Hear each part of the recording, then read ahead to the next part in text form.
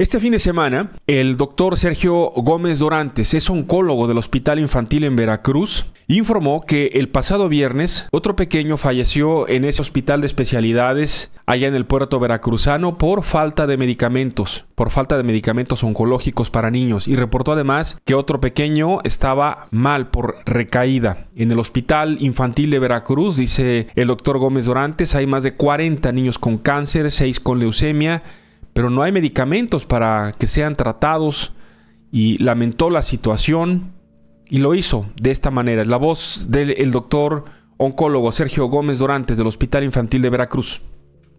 Se están atendiendo más de 40 niños con cáncer en el hospital. Y ni siquiera se le está dando agua destilada porque no hay quimioterapia.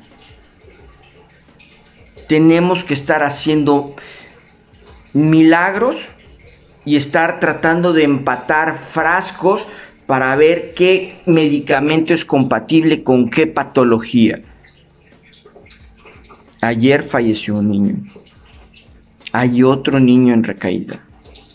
Y lo que más me preocupa es que hay por lo menos seis niños con leucemia que no tengo nada que ofrecerles. Seis.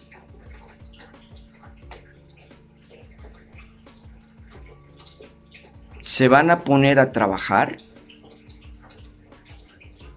o nos van a dejar trabajar. Los papás de los niños de onco son aguerridos, son unos guerreros y podemos buscar el medicamento.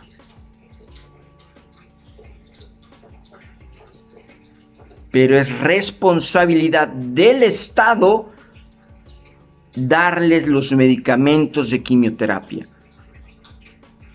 Un etopósido hace seis, hace seis meses costaba 150 pesos. Hoy cuesta 1.600 pesos.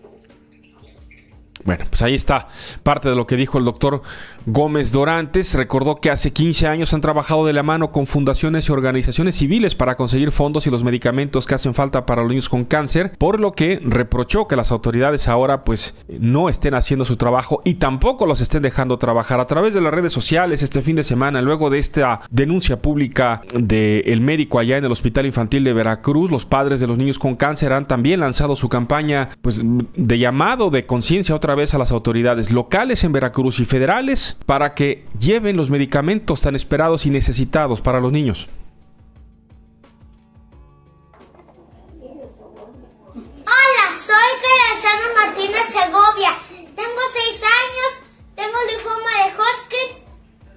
No hay medicamentos en la torre pediátrica, ni para mí ni para mis amigos. El cáncer no es